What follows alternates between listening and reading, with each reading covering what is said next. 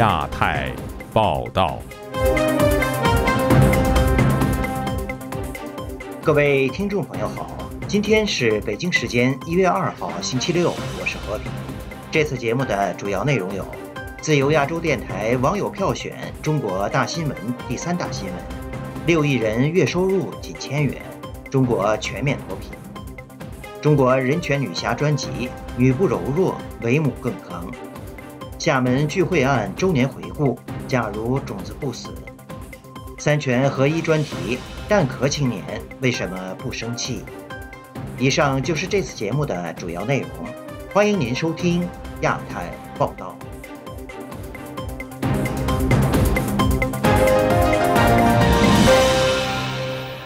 李克强称，六亿人月收入仅一千元人民币，中国宣布全面脱贫奔小康。这条新闻位列本台二零二零年十大新闻票选结果第三名。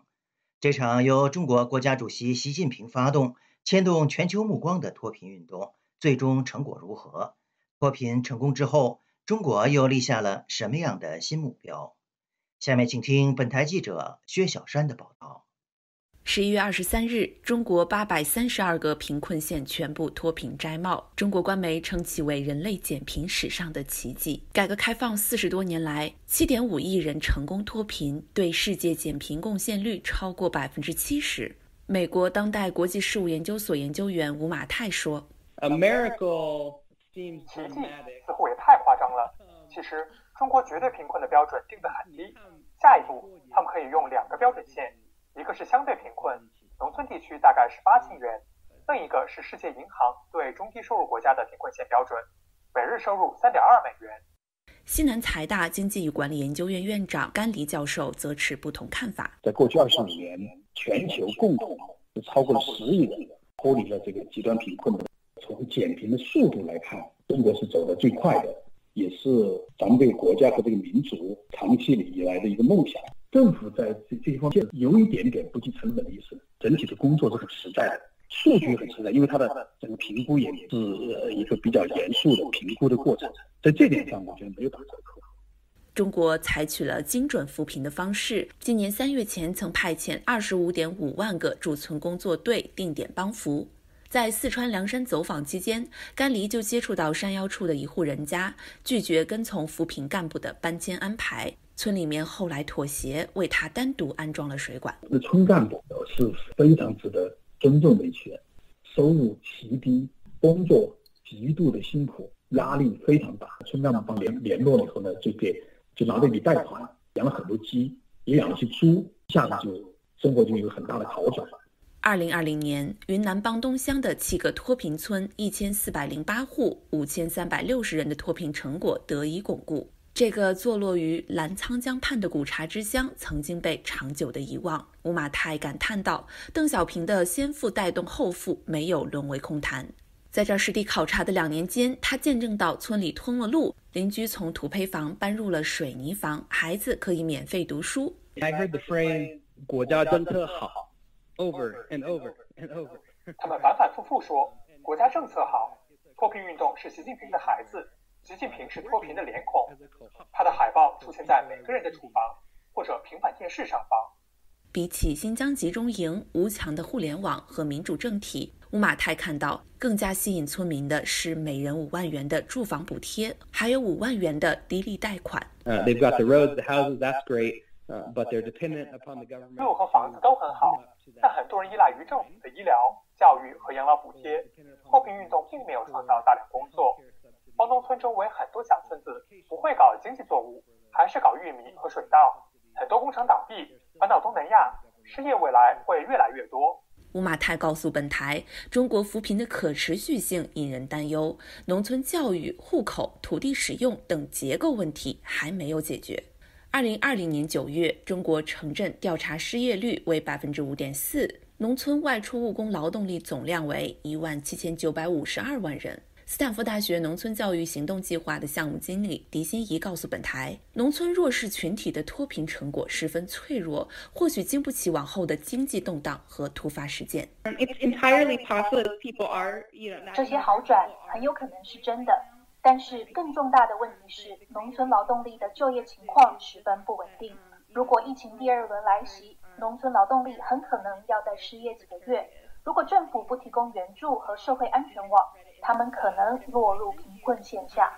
习近平在十二月底的中央农村工作会议上宣布，从脱贫之日起设立五年的过渡期，逐步向乡村振兴平稳过渡。他多次强调，摘帽不摘责任，不摘政策，不摘帮扶，不摘监管。甘霖认为，防止返贫需要警惕养懒汉，需要建立一个既有保障也有激励的长效机制。其实是有必要，因为你一下子把它抬起来嘛。但是再往前继续走的话呢，在整个保障体系之外，应该加上一个呃，就激励、鼓励呢内生动力的制度建设。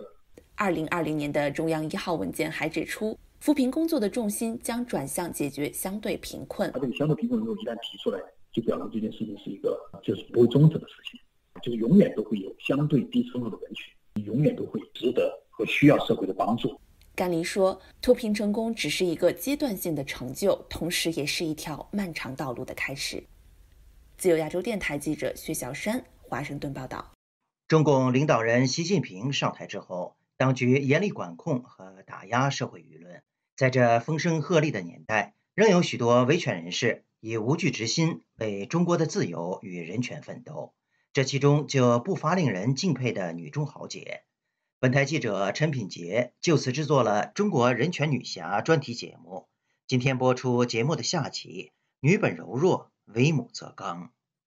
二零二五年的七月九日凌晨三点，中国维权律师王宇的家里突然断电断网，外头传来有人敲门的声音。她前一晚才刚刚送丈夫同为律师的包龙军以及十六岁的儿子去机场，一家三口却分别在家里以及出国留学的路上被带走之后失踪。王宇是著名七零九大抓捕事件中第一位遭到抓捕的律师。在他之后，公安机关拘捕审讯了全国约三百多位人权律师和维权人士。当外界再度见到王宇，是在一年后的认罪视频上。今年，他曾向媒体透露，在关押的期间，当局曾以指控他儿子试图偷渡被拘捕，以及把出国留学的未来前途作为要挟，就是为了逼迫他认罪。王宇艺术当时得知儿子被抓捕的反应，叹了一口气：“，当时就是第一次刚刚被，呃，就是刚刚知道，就是孩子被他们抓回来了，然后给看的那个照片，已经又没有其他的这种。”呃，思维了。当时我，我当时就晕过去了。就他们后来就是，呃，给我抢救过来的。争取正义的漫漫长路，女性维权更是多了一份母亲、妻子的身份羁绊。在儒家慈母贤妻的观念下，家庭更容易成为致命伤。被外界誉为中国最勇敢女律师的王宇，不畏强压，被抓捕之后坚决不录像、不认罪，甚至在一次她被强行带到中央电视台时，毫不犹豫的威胁将从顶楼跳下去。最后，他仍因为儿子的未来而屈服。他对社会公益的爱，对自由平等的爱，在政府的打压下，被迫与对儿子的爱进行拉扯。哎，反正当时我就这十个月的时间，基本上没有好好睡过觉。那一段时间，每天都在考虑，我说我这个我是什么样子都没事儿。然后，嗯，但是孩子的话，我不想让孩子受到。什么牵连？记录中国女性抗争者他们的征途一书的作者，也是九零后的中国女权活动家赵思乐接受采访时说：“女性较重视家庭关系，较有同情心的特点，较有同情心的特点，容易使政府针对女性维权者使用特殊的手段来恐吓或是伤害，也就是拿他们的父母或小孩来威胁。”就类似于说，你小孩以后都上不了学，或者说你小孩以后都不会有前途，就不会有好工作。比方说，你的就讲你父母很想你啊，然后很他们都很难过啊，然后我们不会让他们有好日子过啊。赵思乐细数耳闻的对话，告诉记者，这些例子屡见不鲜。根据美国国会及行政当局中国委员会的政治犯资料库记录，一九八七年到二零一九年之间，曾经被拘捕或在狱中的近一千六百名中国政治犯当中，就有四百多名的女性，其中一个即是著名的记者高瑜。年过七旬的她，因为曾经向境外媒体透露共产党的文件而遭判七年监禁。当局也曾经拿他的儿子威胁，逼迫他电视认罪。高宇向记者透露，今年六月，他的儿子因为母亲原因无预警被单位辞退，失业至今，但是却毫无怨言。天下父母心给了当局一把利刃，中共可以借这种父母子女之间的爱进行勒索、逼迫让步，却也促使更多的女性为了自己的孩子出征。不惜走上艰辛的维权之路，有的母亲不惜牺牲尊严，有的母亲也因此无所畏惧。他们清楚，当局能使自己的声音像尘埃一般微弱，但是却维稳不了天下父母之爱。在年仅一岁多的女儿因疫苗注射导致全身瘫痪之后，十三妹何芳美替女儿维权多年，仍没有结果。今年十月，她两度向河南辉县的政府门派泼漆，表达抗议。第一次因为她怀有身孕不予拘留，但是第二次她就没这么幸运。她与六岁大的儿子在娃娃车里的女儿一同被带走，丈夫李欣随后也跟着失踪，自此全家下落不明。做了啊啊！地方政府不但不负责，还不让我孩子去自辩啊，关了我十个月啊！这样这样存在的价值还有什么意义呢啊？尽管世界无疫苗宝宝的愿望虚无缥缈。何方美对女儿的爱也向外延伸，扩散到公民社会，酝酿成对弱势群体的爱，对公平正义的追求。她联络大批疫苗受害者的家属，成立疫苗宝宝之家，结合众多牵肠挂肚的父母，替自己的亲生骨肉展开维权。她不仅关注于自身孩子的疾病，更将维权的高度拉到社会制度的层次，要求政府全面检讨改善。长期关注疫苗受害者家属维权的人权工作者杨占清就感叹：何方美希望联合受害者家属群体，吸引更大的社会关注度。但是许多疫苗受害家属因为被施压而不敢张扬，维权手段相对高调的何方美，也让其他人退避三舍，就怕走得太近，给自己惹上了麻烦。现实中维权很多的困难，不仅仅是政府方面的压力，要这个维权这个群体。存在的问题，让他，也就是说，其实就让他感到孤独吧。即便如此，侠义的他只要力能所及，都会热心相助。另一位疫苗受害者谭华的母亲华秀珍就告诉记者，出事何方美时，他即主动伸出援手，提供在北京看病的谭华母女一处落脚之地。为母则强的不仅是替幼女维权的何芳美，也是今年高龄七十四岁的华秀珍。她的女儿谭华为复旦大学的硕士，却因为狂犬病的疫苗致残，落下终身的后遗症。母女俩维权多年，却频遭打压。原本是平凡上海母亲的华秀珍，能够有不错的退休党员福利，安享晚年，却因为女儿疫苗致残，改变了她的人生。我是谭华妈妈华秀珍，我女儿现在取保候审，不方便出面接受采访。我以母亲的角色回答您的问题好吗？面对记者询问，刚出狱不久的华秀珍成为挺身而出接受采访的人。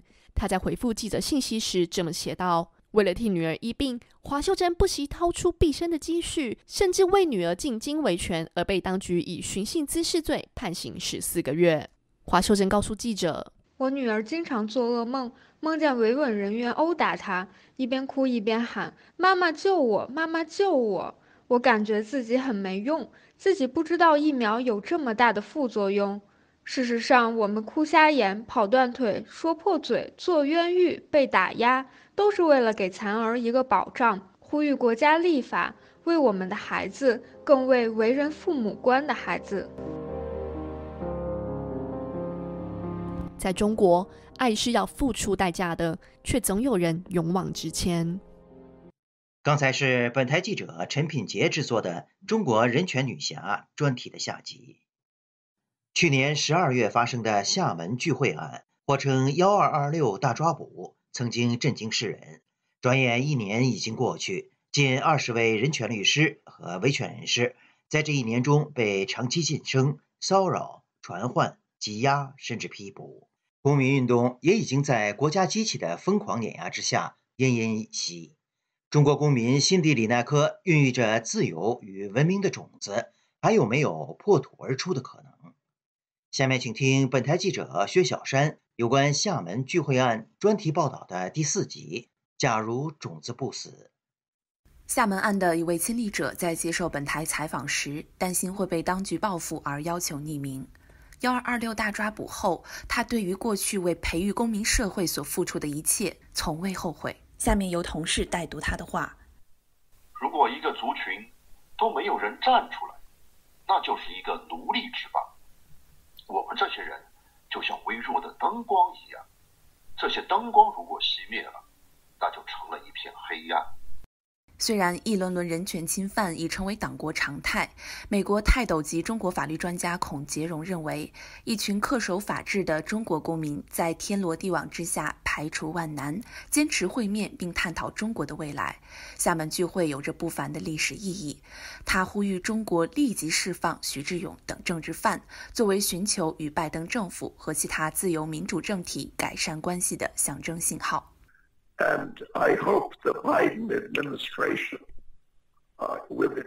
我希望拜登政府在制定新的对华政策时会说服他们。中国政府很难因此赢得国际社会的青睐，获得软实力和自由统治的声誉。习近平一直说要依法治国、公平正义。那么厦门案件呢？为什么习近平说一套做一套？这是一种耻辱，一种矛盾，一种虚伪。今年初，许志勇在潜逃期间发布致习近平的劝退书之后，迅速落网。恰逢新冠疫情肆虐全球之际，国际政学界连接发声，呼吁中共当局还权于民。二月底，美国汉学家李安友、林培瑞、法国巴黎政治学院教授白夏等人敦请中国吸取李文亮事件教训，立即释放厦门案受难者。七月八日，美国国务卿蓬佩奥在七零九五周年之际发布声明，谴责中共打压许志勇、丁家喜等和平倡议者。十一月十七日，库切、保罗·奥斯特等诺贝尔文学奖和普利策奖得主再次敦促习近平释放许志勇。美国国会议员麦戈文在十月十四号的国会简报会上曾惋惜地说：“许志勇的被捕证明了文字的力量。”他的入狱标志着中国政府的软弱，中国当局显然无法在思想上与其竞争，所以设法使他保持沉默。尽管中共的钳制手段日益升级，中国公民和异议分子没有完全臣服，而是在活动形式和技术层面不断开拓新的空间。据中国劳工通讯统计，二零一九年全国共有一千三百八十五起工人抗议活动，二零一八年一共有一千七百零六起。二零二零年新冠疫情刚爆发时，中国再次涌现一批自下而上的自组织力量，民间志愿者和公民记者冲破封锁，奔赴疫区。疫情早期，中国记者，包括公民记者，在危机中把握住机会窗口，趁中共敲定官方叙事框架前，贡献出真正的新闻报道。美国人权组织自由之家中国香港和台湾问题研究总监莎拉·库克回忆道：“当机会来临，中国公民不是跟着党走，而是见缝插针追寻自由。”二零一三年，习近平上台之前，美国明德学院政治学家赵娜重点研究中国的协商式威权主义。在国家和社会尚能共存的年代里，一大批相对自治的民间组织虽然并未成功推动中国走向民主化。但是增强了威权主义的负责度、透明度和群众满意度。可是很快的，他密切追踪的非政府机构一个个被关停打压。如果任由党包揽一切，灭绝所有民间的声音，赵娜忧心忡忡地说：“最终的后果不堪设想。”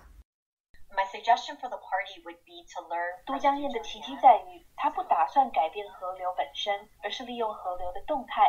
创造出一个汇集河流和两岸居民的系统。相比于无视于自然规律、已经出现裂缝的三峡工程，都江堰可以屹立不倒数千年。近期，他的最新论文将目光重点投向那些乐于捐赠和做志愿者、受过良好教育的中国年轻人。回顾二十年前，云南昆明等偏远地区的当地人大多听不懂他说的公民社会，但现在很多年轻人会兴冲冲地介绍自己的募书和捐钱活动。赵娜反复强调，这些年轻人不是中共的敌人，许志勇他们更加不是国家的威胁。中国政府不妨试一试效仿都江堰，把公民活动看作是公共生态的一部分，而不是一味妖魔化和制造敌人。I I don't think that you know any of them have. 厦门聚会的这些人都在做着很棒的工作。我不认为任何人打算颠覆政权。他们是要让政府为自己的行为负责。无论你采用什么样的政治体系，允许这些人更多的发挥作用，就会造福更多的中国人。十二月八号，美国笔会授予许志勇二零二零年年度写作自由奖，他是唯一不能到场领奖的人。自由表达研究和政策副主任詹姆斯塔哲对本台表示。In situations like that, the concern is that they're 他们正在被折磨和虐待。中国对厦门案秘密处理，因为想在黑暗中肆意处置他们。我们呼吁中国政府遵循国际法，保障他们的自由表达和公正审判。二零一三年，徐志勇被捕时，有人华泽曾梦到他戴着手铐，拖着一双特大号布鞋，穿过监狱长长的走廊和一扇扇铁门。他说：“那是一个民族走向自由的必经之路。”这一次，他不再为许志勇哭泣，而是望着他们作为铺路石伸向远方。你去铺铁路，挖地基，非常漫长，而且不会引人注目。会引人注目的就是那个火车轰隆隆开过来的那种迅猛的那种力量。但是没有长期的人去铺铁路、铺地基的工作，火车开不过来啊。刘思房等人现在虽身处海外，也没有放下铺铁路的担子。狱中人的公民信仰由他们继续分担、思索和传承。每一个自认为是公民的人，我们就是一颗种子。那么，怎么样把这些种子发芽、茁壮成长，成为一片森林？这个就是我们要去思考、为这人努力的东西。他和一众同仁们保持着同样乐观的信念。人心深处始终埋藏着对自由、公益和爱的渴望，它有着瞬间苏醒的可能。无论寒冬和黑夜多么漫长，只要种子不死，希望就永不枯竭。自由亚洲电台记者薛小山华盛顿报道。您刚才收听的是本台记者薛小山有关厦门聚会案专题报道的第四集。假如种子不死。餐桌和土地说话。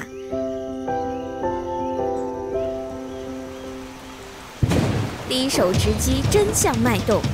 针对雾霾天气，中国环保部要求进一步加大对京津冀及周边地区的监察力度。雾霾能让汽车都打不着火了，暗无天日啊，鬼影重重啊！非洲猪瘟首次在中国发生以来，目前已有二十个省份相继出现疫情。这个是猪病里面的一个超级病毒。专家剖析环保食品安全议题，主持人麦小甜全新节目《绿色情报员》就在自由亚洲电台及自由亚太报道 YouTube 频道。今年十一月，提供长租服务、打着高端白领公寓品牌的蛋壳公寓爆出财务危机，上百万的中国年轻人正被卷入长租公寓暴雷、租金贷款的陷阱。蛋壳公寓曾在2019年被共青团、环球时报、新华社追捧。是谁让跟着党走的年轻人陷入困境？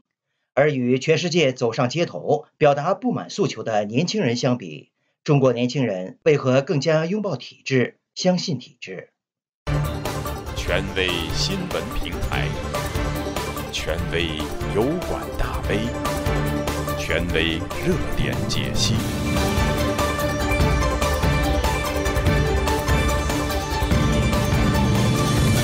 三权合一。各位好，这里是自由亚洲电台的三权合一节目，我是主持人唐佳杰。十二月本来是一个充满过节气氛的日子，但是呢，蛋壳长租公寓暴雷，确实许多的中国青年毫无欢乐可言。今天我们就要来探讨这个题目。先介绍三位今天的嘉宾，首先是资深财经媒体人王健。主持人好，各位网友大家好。欢迎王健老师。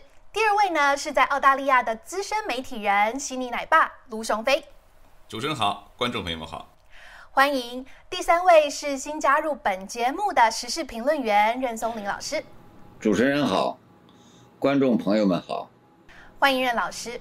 今年十一月开始，提供这个长租服务、打着高端白领公寓品牌的蛋壳公寓，爆出了财务危机。蛋壳公寓在全中国十三个城市管理超过四十一套的房源，暴雷之后，房东及租客的冲突事件也正在这个中国的冬天上演。中介不给你钱，你还找我的麻烦？谁叫你拆去？找谁赔钱？这个房子是我是我的吗？不是中介，你问中介去了哪？你去中介那里找房子。哎，你去中介那里找房子，中介租给你房子，你就去找中介呀。这里我想先请教一下王健老师，上百万的中国年轻人正在被卷入长租公寓暴雷、租金贷款的陷阱之中。事情会演变到现在，到底是谁让这些蛋壳青年陷入困境呢？蛋壳公寓出问题啊，是源自于今年十一月份啊。这家公司是在二零一五年成立的，到二零二零年的一月份在纽约交易所上市。他们用了五年时间啊，这在呃完成了一个上市的这个动作。呃，如果想这个讲这个长租公寓来说，它应该是第一品牌，中国第一品牌。可这个中国第一品牌它出问题了啊，那么原因是什么？原因是资金链断裂。呃，这家公司到二零一九年十二月三十一号，就是去年三十一号，它在十三个城市运营四十三四十三万间公寓啊，增长同年增长百分之八十五。二零一九年全年收入是七十亿。七十一亿人民币啊，增长百分之一百六十六啊。那么其中北京、上海、深圳啊三个城市，公寓数量有二十二点四万间啊。那么其他的城市有二十一万五千间啊。那么到二零一九年的十二月三十一号，蛋壳公寓的现金和限制性现金，限制性现金就是他收的押金各种啊。总共是三十四点五六亿呃人民币啊，那么弹珠公呃这个蛋壳公寓呢，实际上它的商业模式我们叫什么长长租短付，长租短付是什么意思？我就是它蛋壳公寓啊，它是一个它是一个叫什么？它是一个中介，他去找房东啊，把房子用比较高的价格租下来。稍微的装修一下啊，做一个配套，简单的配套，再用一个相对低的价格租出去，那它中间其实它是亏亏损的，但是它有个模式，什么模式呢？他向房东支付租金的时候是一个月一个月租，但是他向那个他向那个他的下游，就是向他租房子的租客收一年的租金，那么中间还有一个什么问题呢？就是。很多白领其实他租不起一年，一口气给一年的租金他给不起，哎，中间就跑出来一个贷款公司，贷款公司说没关系，你租不起，我借钱给你，这中间就有一个贷款公司，就把钱呢一次性的租借给了这个这个租客，这个租客呢就把钱交给了谁呢？交给蛋壳公寓，蛋壳公寓呢就手手上就有一笔钱，那么用这种模式，这叫。长租短付啊，长租短付模式啊，那么从商业模式的角度来说呢，蛋壳公寓的每个 case 每套房租下来租出去都是赔钱的啊，每套房每个 case 它都是赔钱，不过他手上握的一一笔现金，这就是他们的年年付年付的房租啊，这是典型的什么呢？这是典型的庞氏骗局啊！庞氏骗局就是这样，庞氏骗局它就是你不断要有新增的业务，你不断的有新增的业务往里面填，你才能弥补前面业务出现的亏空啊。那么如果新的业务不发生，它的资金链就会断裂，就有点像什么？有点像它只有有只有很短的一一段路轨，火车啊，它只有很短的路轨，它必须把后面的路轨拆掉。补到前面去，车才能往前跑，大概就是一个这样的情况啊。那么在这件事情当中，政府扮演什么角色呢？我们先从业务的角度上来说啊，在这件事情当中有两个啊经济形态，第一个经济形态叫预缴式服务啊，预缴式服务，因为它一次性付了一年的租金，这叫预缴式服务啊。第二个经济形态叫金融杠杆。啊，他因为他一收收了你一年的钱，可是呢，他在一个月一个月的往外付，这叫金融杠杆啊。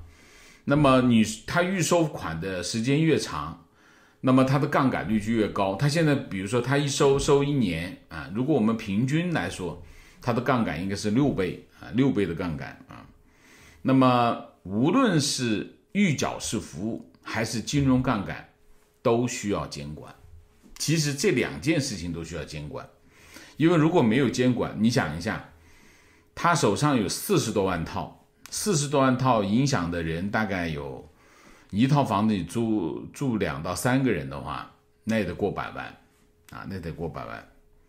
那么这件事情其实跟什么有点像，跟 P to P 有点像啊，P to P 也是，很多人把钱交给这个金融平台，金融平台把钱租出去啊。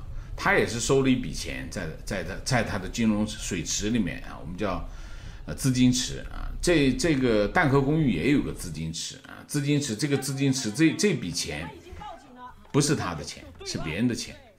所以其实预缴式服务本身是需要监管，全世界的预缴式服务都要监管。为什么？因为这里面会有个跑路的问题啊，就是说你比如说有点像，举个例子，比如说健身房。健身房很多都是这样，让你买卡、买套餐，买套餐一买买一年，买一年，他他可能这个这个健身房只能容纳一百个人，可能他可能买卖了一万张卡，然后老板就跑掉了。所以预预缴式服务都需要监管，中国有没有监管？没有监管啊，没有监管。那么金融、金融这个资金池，那就更要监管。你一个这么大的一个金融池、金融水池，你一收收几十个亿，甚至上百，当它规模再扩大的时候，上百亿的时候，这个跑路的可能性就会越来越大啊！所以，那么蛋壳公寓为什么会出呃出问题？蛋壳公寓出问题的主要原因是因为疫情。我们刚才讲过，庞氏骗局的核心要点是什么？就是你必须持续的发生业务。持续的发生业务，用后面收到的钱去填前面的窟窿。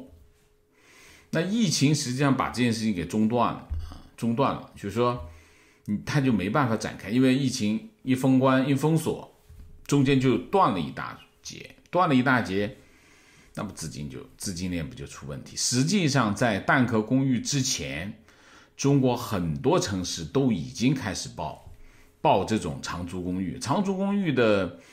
背景是什么？是习近平的“房住不炒”的这个政策。房住不炒的政策呢，就房地产行业就出现说，你既然不让炒房子，那就租房子呗。租房子呢，就出现两种模式。一种模式就是开发商，开发商拿块地，盖盖几栋房子，这个房子只租不售啊，只租不售呢，他就做成长租公寓啊，所以他他很。资产规模非常大，但是呢，他他由于他这个这这个房子呢是他自己的，所以不存在我们刚才讲的这些情况。那么另外一种模式呢，就轻资产，我没有房子，但是我要做长租公寓，怎么办？我去找在市场上去找房子来租。那找房子来租，如果你不用没有你价格上没有吸引力，房东不愿意把房子给你。那他就出现了这种长租短付的这种模式，就是他租回来的钱比较贵，但是他要租出去的话，他只能用价格来吸引别人，所以他租的比较便宜，中间就有个差价，这就庞氏骗局啊。呃，蛋壳公寓到底是谁的哈？我们看一下啊，蛋壳公寓，呃，老虎基金百分之十九点九，将近百分之二十。呃，愉悦资本百分之十五点六，蚂蚁金服百分之八点六啊，那么 CMC 百分之八点九，高管百分之三十一点三，其中创始人、联合创始人 CEO 高进持股是百分之十三点五，但是他拥有百分之七十五点七的投票权，实际上这家公司是由他们的创始人和 CEO 控制的啊，就是这样啊。那么现在的情况是什么？现在情况就是政府的一开始政府不管，那例行公事他们也是不管的啊，然后就出现了很很大的社会反响。你想一下，呃，我们不说有一百万人，但几十万人在马路上被赶到马路上，这是没问题的啊，因为很多的其他的长租公寓也在出问题。那政府现在什么态度呢？政府现在态度就是压迫房东啊，压迫房东，让房东呢不能把这个租客赶出去。在这件事情当中，最脆弱的人是谁？最脆弱的一方是租客，因为他完全没有保障，他一口气把租金给了一年的租金给了蛋壳公寓，然后他向这个贷款公司借钱，借钱的合同他跑不掉的。啊，就算他没得住的话，这两个是完全不同的合同。啊，所以两者之间没有关联，所以就算是他没办法住那房子，他的他这个租金还得付，这是一头，所以租客是最脆弱的。但是受影响最大的是谁？房东。房东这房子给了蛋壳公寓，可是蛋壳公寓不把钱还给他。可是租客呢，跟他没关系。这里面就就变成他他们出现了一个三角关系。那他为了自保，他只能把这个租客赶出去，另外再再找租客。如果他把他赶出去的话，那他跟这个蛋壳公寓之间的合同就就断掉了。他只想追回。好，追回原来的租金不容易了啊，所以，所以呢，这个这个房东呢也是个受害者。这里面最最坏的是谁？最坏的是蛋壳公寓，他们他们他中间他是个关键支点，所有的东西都基于他啊发生，他出现了问题，其他人都是利益受损。那么这里面还有一个风险是谁？就贷款公司啊，贷款公司就如果。如果这个小白领他他因为他没办法住上房子，他我就是不不给了，因为我房子没租，我就是不给。虽然他从呃从法律的角度来说他没有道理，但是他是他人情上合理啊，因为我租了房子，可是哎我房子又不给我，我怎么为为什么要公款？所以其实受损的是所有的所有的这个这件事情所有的方都受损啊。那么在这件事情上，问题最大的是谁？问题最大的是蛋壳公寓啊！蛋壳公寓它资金链断裂，股东如果不这个时候不出手解决这个资金的问题，蛋壳公寓可能就要完蛋。这家公司啊，但是从另外一个角度来说，真正的没有把这件事办好的是谁？是政府。政府没有在这个业态一出来的时候就进行监管。这个情况跟 P to P 是一模一样，啊，一模一样。就是当一个新的业态发生的时候，政府没有跟上，没有跟上它的监管责任，他没有跟上这个监管责任，就出现了一系列的暴雷啊。那么受害者是谁？就是城市白领。所以很多小粉红经常经常口号喊得山响，但在现实当中，他就变成了现实的受害者。你比如说像这个。像这个蛋壳公寓，现蛋壳公寓现在已经死人了，有人就是因为这个就跳楼了，所以这件事情还在发酵，我们持续关注。好，谢谢大家，谢谢王健老师。王健老师提到，年轻小粉红是这次蛋壳暴雷的受害者，这是有原因的。在二零一九年，共青团中央、党媒、党报都帮蛋壳公寓做了背书。环球时报将二零一九年的年度责任践行奖颁给蛋壳公寓，新华社则颁给蛋壳了一个社会责任杰出企业奖，赞扬蛋壳帮助百万中国大学毕业生安居。这些报道在蛋壳爆雷之后都已经陆续被删除了。这里我想请教一下悉尼奶爸，关于这些中国青年的处境，跟全世界走上街头表达不满诉求的年轻人相比。中国的年轻人为什么看似更拥抱体制、相信体制呢？首先呢，我要说一下，自从这个蛋壳爆雷以后啊，就是很多的蛋壳青年呢流离失所以后呢，中文的社交媒体上呢有很多人在嘲笑很多小粉红，就是他们租住这个蛋壳公寓的，呃，这个很多几个月以前呢，可能还在帮中共不遗余力的帮中共说话，结果呢，就是现在遭遇到社会主义铁拳了，很多人在讥讽他们，我觉得这个大可不必啊。但是呢，其中有一条啊，就是发在微博上的一条评论，引起我特别注意。这个也是跟今天问题特别相关的。我来给大家读一下这条评论啊。这个人讲呢，就是我是九五后，我呢也是二零二零届的毕业生，就今年刚毕业的。我想说两件事情。第一件，在得知到蛋壳爆雷之后呢，哎，我原来是住在这个自如的，是另外一家这个长租公寓的。我在十一月底就从自如搬出来了。转向了业主直租的房子啊，就是不利于他写的是啊，不利于这个长租公寓的危墙之下。第二，就算遇上事了啊，这个以前的 P2P 受害者维权的很多前车之鉴，大家看不到吗？不要去参加维权群哦，要让政府去调解，千万不要上访，不要为了眼前，呃而损失赔了未来的人生啊！哎，最后加上一句毛泽东著名的话，叫做“风物长宜放眼量”。哈哈，这个帖子呢，让我非常的感慨。呃，这里面能够看出来非常多的东西啊。其实呢，这个整个评论它的核心的话语就是这句“不利于危墙之下”啊。我们都知道有句话叫做“君子不立于危墙之下”。这句话哪儿来的呢？很多人讲，哎，有鼻子有眼，说这是孔子说的，还有还编了一长段的这个文言文，表明这是孔子说的。其实那个不是，那是后人杜撰的，甚至我都找不到出处啊。其实这句话的来源是来自于孟子的《静心篇》，它里面有讲到，所谓莫非命者顺受其正啊，是故知命者。不利乎言强之下，就是说我们每个人都要知天命，顺天命而为。哎，而知天命者呢，就不利乎言强，就是危墙，就是不不会站在危险的墙壁之下啊。哎，对了，孔子虽然没有说过这句话，但是孔子有句类似的话，在孔子的《论语泰伯》里面，他说：“危邦不入，乱邦不居。”啊，也就是这个不利于危墙之下这个意思啊。你看这两个的字面意思，似乎呢，这位是在说，哎。没错啊，哎，你你不要就是遇到危险的事情，遇到困难的事情，哎，你要你要知天命，你要躲开，你不要去跟人硬来，是这个意思吗？其实呢，你不需要对孔孟对儒家有太多了解，你只要知道文天祥说过那句“孔曰成人，孟曰取义”，你就知道这个肯定是错的。你这么理解肯定是错的啊。我们说一个比较大家都知道的，就是“孟曰取义”啊，他我们在很多人在初中嘛、高中都学过啊。呃，孟子说了：“鱼我所欲也，熊掌亦我所欲也，二者不可得兼，舍鱼而取熊掌者也。”啊，下一句话呢？生我所欲也，呃，义义我所欲也，二者不可得兼，舍生而取义者也。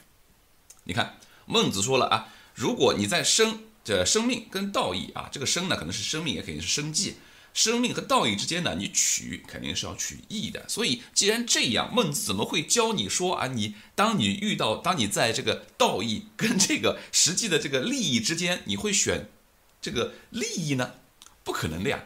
所以呢，孟子这句话的意思，其实他的理解是在什么呢？他后面还有一句话啊，叫做“尽其道而死者，正命也；至故死者，非正命也”。什么意思？就是我尽我的道。然后呢，我然后死了，这个是属于正命。然后我呢，因为这个逆天嘛，就是逆天命嘛，然后被关起来了啊，就白白的死掉了，这个非正命也。所以这个这句话整个的意思核心在于一个道，就是说你需要在顺天意而为的情况下，尽可能实现你的道。这个是重要的，而不是为了实现你的个人利益呀，或者怎么样。就像这位讲的一样啊，就是说啊，不要为了眼前损失赔了未来人生。就是这个人生，孟子取的是是是义而非生啊。那么我们再说，我们再调，既然调书袋了，我们再多调一点。孔子之前讲过，我们讲过，危邦不入，乱邦不居，那怎么解释呢？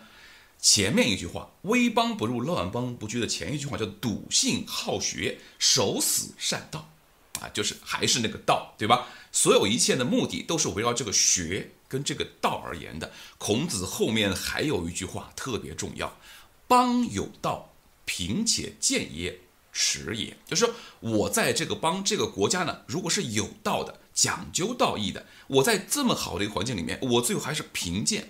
赚不了什么钱，那是我的耻辱啊，对吧？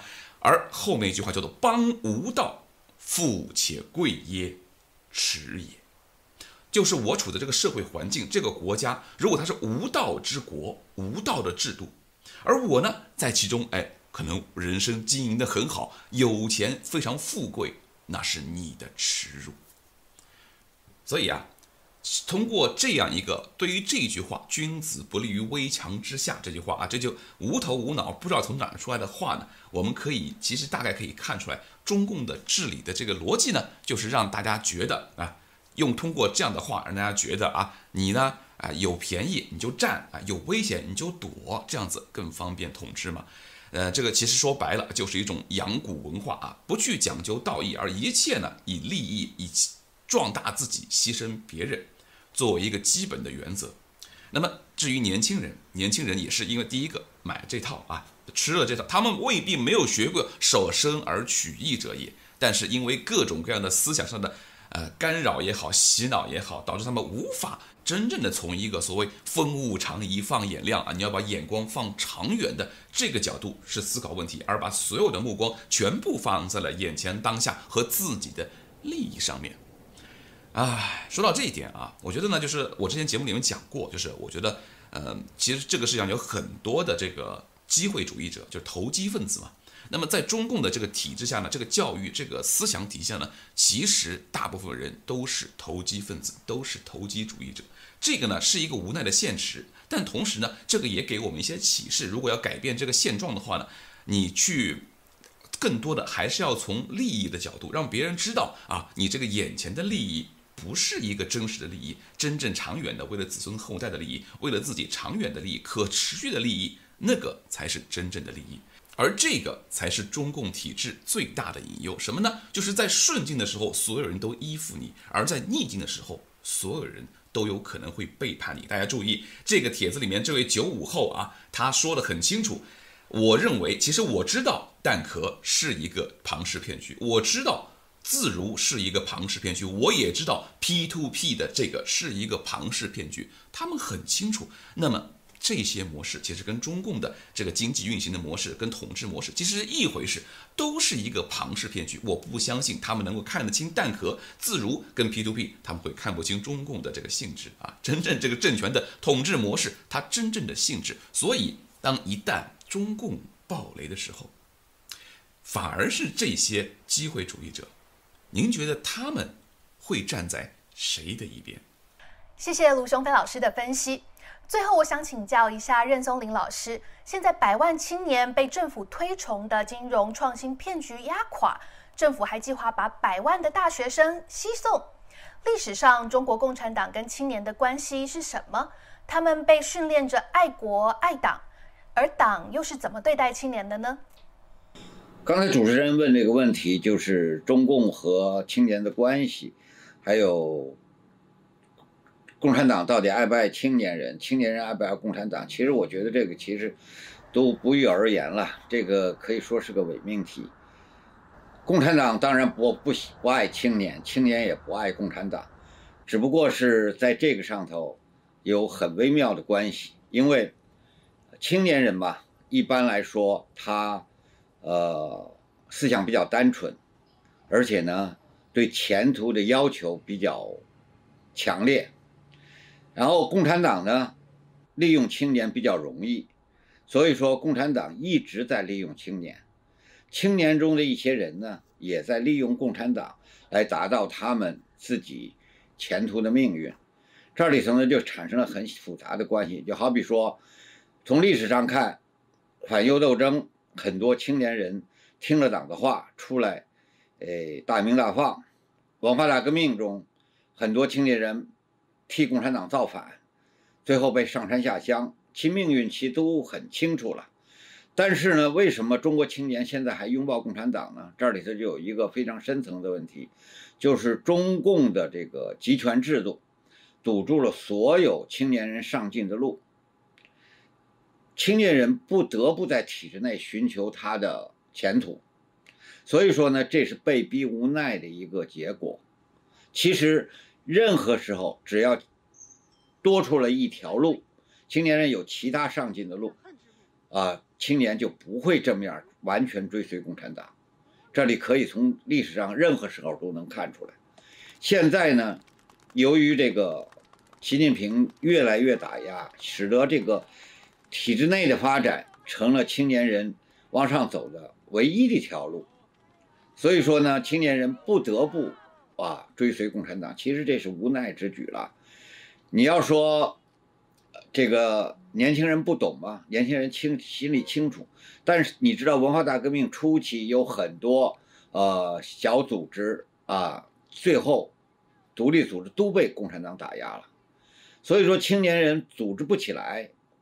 你好比说有两种青年人，一种青年人是农村，啊最底层的，他如果要想出人头地，他必须进入体制，往上爬才能上去。另外一种青年人是在大学里，呃，他们到了大学里，如果你在大学里，你要想出出人头地，也得进入学生会想办法。所以说，就出现了很多文化大革命时候出现了很多青年人举报父母造反，这个这个现在举报老师，其实这也都是青年人幼稚和自私的表现。共产党呢，他知道青年人的这个这个这个这个幼稚这个缺点，所以他更加利用。其实这也不奇怪了，你像历史上希特勒的党卫军。和这个俄国人一开始，苏联共产党其实都是利用什么青年禁卫军，共产党的呃下大力在青年团上下功夫，其实这都是有迹可循的。但是呢，其实这里所有的深层原因就是目前，呃，这些青年人认为在体制内还能寻找到他们的前途，所以他跟随着共产党。但是呢。随着这个这个事情就是越来越恶化，可能会越来越多的青年人被甩出去。这也能看出来，出来很多人，就是像六四的时候，为什么站出了那么多人，在那儿呼吁，在那儿喊。所以说，这里头我不觉得人们看出一个简单的情况，现在青就认为中国共产这个青年人现在爱党、拥抱共产党，不是这么回事儿，是因为青年人其实没有其他的路可走。我觉得，呃，分析中国的问题其实不是那么简单，看表面的现象。因为中国是一个完全的，呃，独裁国家，所以说他任何事情都离不开体制。就像共产党一直倡导他的三个法宝，这个三个法宝就是组织、呃，武装斗争和这个统战。所以说这里头青年人其实占了两个，里头一个就是统战，还有一个就是组织。所以说在在这个问题上，我觉得。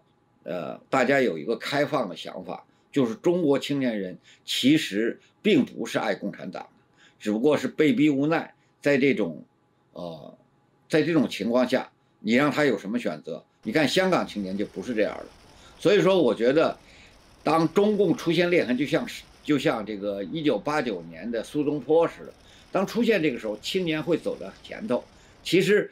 与其说共产党利用青年，最后可能葬送共产党的也是青年人，这一点我坚信不疑。因为我们这些人其实都在共产党的统治下度过过年轻时代，我们太了解了。我们年轻的时的时代，共产党的宣传比现在还厉害，包括雷锋啊，包括很多事情，都是些虚无缥缈的东西。但是你说我们那个时代年轻有多少人相信共产党呢？其实打心里来说。他们并不是相信共产党，他们是没有其他的选择，他们只能在共产党这个鸟笼里寻求他们的生存。谢谢任老师，也谢谢今天三位嘉宾的观点。以上就是本期的三权合一节目，邀请您继续在影片下方讨论留言，也记得帮我们点赞、订阅与分享。感谢您的收看，我是佳杰，祝您阖家平安，下期再会。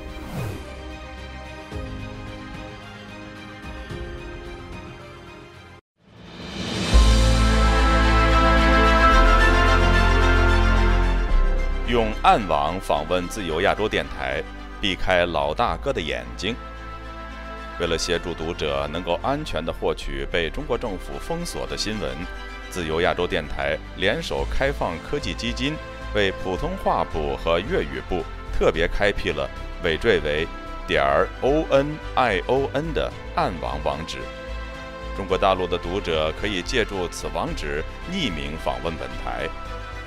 新冠病毒爆发之后的一个月，中国民众怀抱着对真理的渴求，勇猛地翻越防火墙。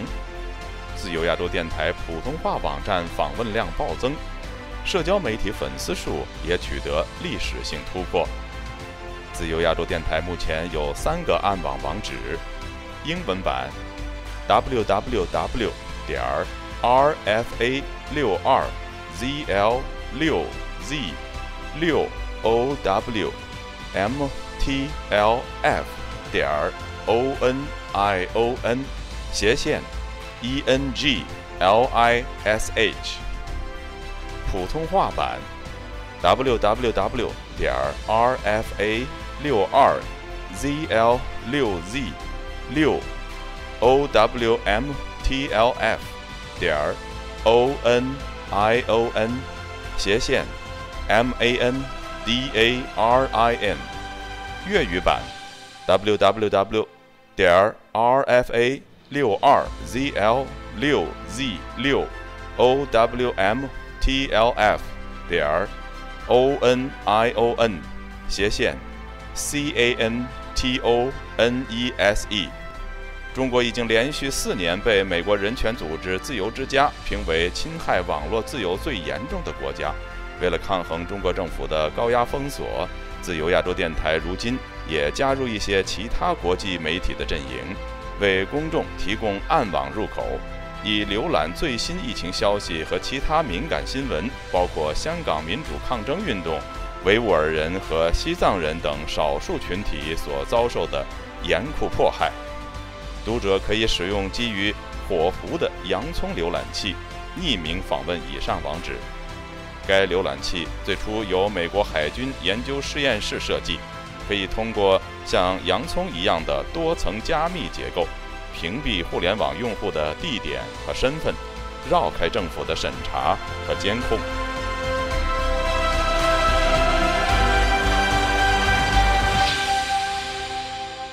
听众朋友。